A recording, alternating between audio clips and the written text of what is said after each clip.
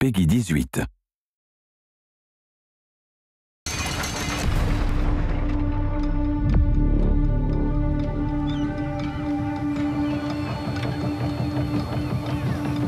Nous vivons une époque formidable.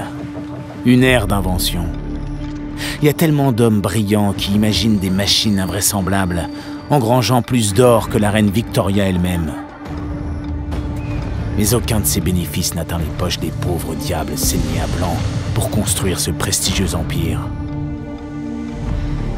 La classe ouvrière subit cette vie complètement endormie, inconsciente de la machine qui les contraint. Allez les gars, réveillons-les